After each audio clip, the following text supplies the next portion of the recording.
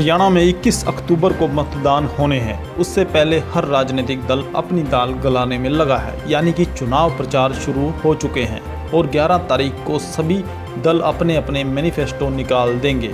वहीं विधानसभा की hot seat Panchkula की बात करें तो यहाँ से इनेलो पार्टी के प्रत्याशी करुण चौधरी से अर्थ प्रकाश संवाददाता रूबरू हुए और उनकी चुनावों को लेकर प्रतिक्रिया ली। लिए देखते हैं। सरफरोशी की तमन्ना अब हमारे दिल में है। देखना है ज़ोर कितना बाजुए का दिल में है। आज हम बात करते हैं इनालो पार्टी के प्रत्याशी करण चौधरी की, जो कि भावी उम्मीदवार है और सैकड़ों युवाओं ने आज इनको समर्थन दिया। बात करते हैं करण चौधरी से। करण चौधरी जी, सबसे पहले अर्थ प्रकाश में आपका स्वागत है। जो आज युवाओं ने आपको समर्थन दिया, उसके बारे में क्या है? सर, आज तक का इतिहास रहा है कि जब भी कभी हिंदुस्तान के अंदर कोई क्रांति आई है या कोई बदलाव आया है, वो हमेशा युवा ही युवा ही लिख रहे हैं। अभी आपने जो नारा लगाया, सरफरोशी की तमन्ना, ये सारे युवा थे जिन्होंने क्रांति लाने का काम किया था, चाहे भगत सिंह जी थे, चाहे हमारे चंद्रशेखर आज़ाद जी थे। और पहली बार पंचकुला के इतिहास में ऐसा हुआ होगा कि एक उनतीस साल के युवा को किसी बड़ी पार्टी ने टिकट दे देकर मैदान में उतारा है। जो पिछले पाँच साल का जो कार्यकाल था बीजेपी का, उससे युवा वर्ग, चाहे कर्मचारी वर्ग, चाहे किसान वर्ग हर वर्ग इससे परेशान है। अगर आप बात करो एम्प्लॉयमेंट की तो पंद्रह लाख एप्लीकेंट्स थे। उसके लिए सिर्फ़ मात्र चार हज़ार नौकरी, पाँच हज़ार नौकरी। इन्होंने दो करोड़ नौकरी देने का वादा किया था। अगर आप बात करो इंडस्ट्रीज़ की कंपनीज़ की तो यहाँ हमारे कितनी कंपनीज़ और कितनी इंडस्ट्रीज़ है, हमें रोज़गार के कितने अवसर प्रदान किए गए पंचकुला में?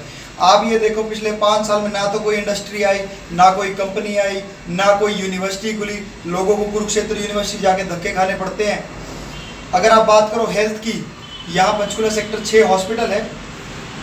आप ये देखो कि अगर कोई सेक्टर 20 से वहाँ का कोई नागरिक अगर इस साइड पे आए तो सबसे पहले तो वो अंडरपास के ट्रैफ़िक जो एक ट्रैफ़िक जाम है, वहीं पर ही ट्रैफ़िक में एक घंटा तो उसका वहाँ खराब होगा। वहाँ के अंडरपास की इतनी बड़ी समस्या है। उसके बाद वो सेक्टर छः हॉस्पिटल आएगा। तो आप देखो हॉस्पिटल के अंदर कोई सुविधा नहीं है। ना इनके इनके पास वेंटिलेटर्स है, ना इनके पास कोई सुविधा है। ये सिर्फ़ रेफर करने के लिए बैठे हैं। हर केस को ये पीजीआई या बत्तीस में रेफर करते हैं।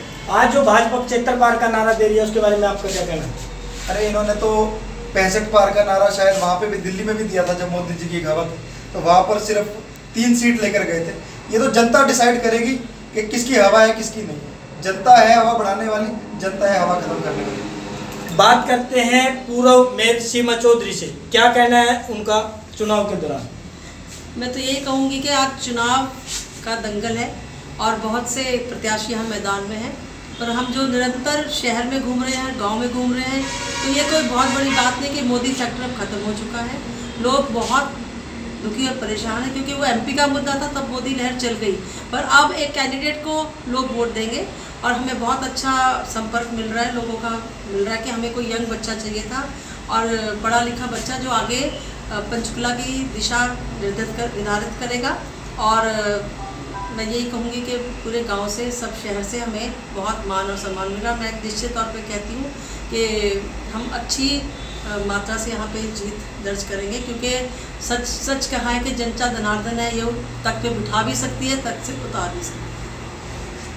ताज़ा अपडेट्स के लिए अर्थ प्रकाश टीवी को सब्सक्राइब करें और बेल आइकन को प्रेस करें।